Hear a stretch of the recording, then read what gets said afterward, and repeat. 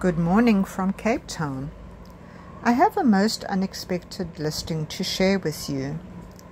A stunning 45 foot shearwater staysail schooner designed by Dudley Dix and built in Cape Town, South Africa.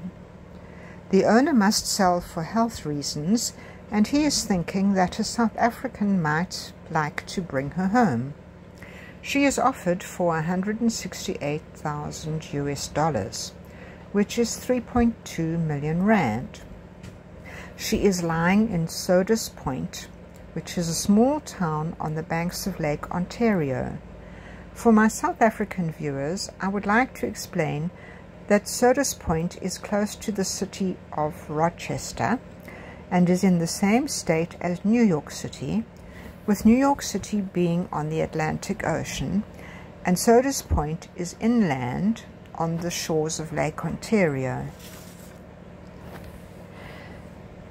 She will be able to sail back to South Africa on her bottom.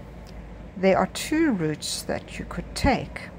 The St. Lawrence Waterway, which runs through Canada and exits into the Atlantic, or there is a waterway which links Rochester with the Hudson River, which flows into New York and into the Atlantic.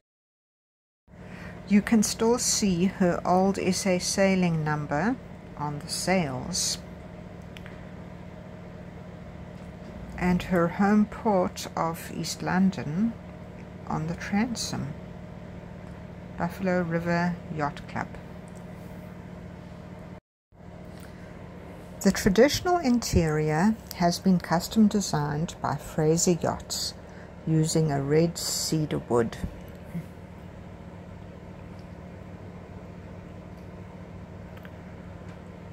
There you have two built-in captain's chairs. The, the nav station, navigation station. The saloon seats eight people. the galley. The galley has hot and cold running water. It has a fridge freezer and it has a gas cooker.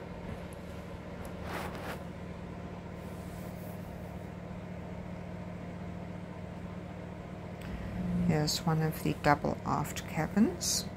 The boat sleeps five people, two double aft cabins and one single cabin uh, forward.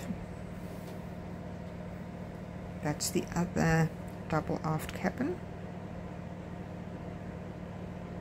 The heads are forward next to the single cabin and there you can see that they have a proper shower.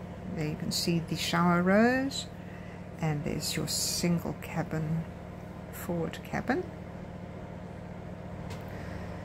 There's wood in the cockpit, single wheel,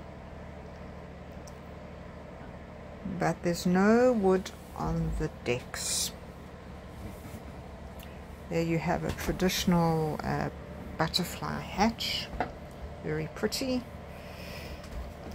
electric windlass, view of the solar panels, such a, a very pretty spinnaker there. Expensive looking prop. Depth, speed, log, wind instruments. Another view of the solar panels.